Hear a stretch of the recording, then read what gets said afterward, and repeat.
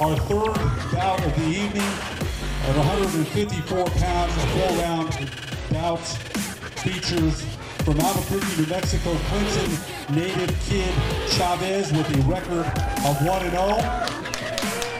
He weighed in at 151.6 pounds.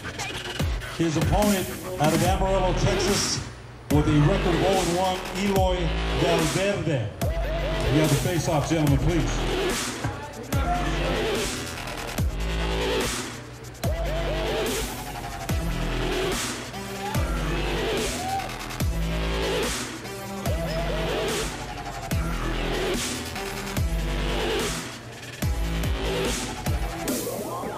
Clinton needed Kid Chavez, Eloy Valverde tomorrow night.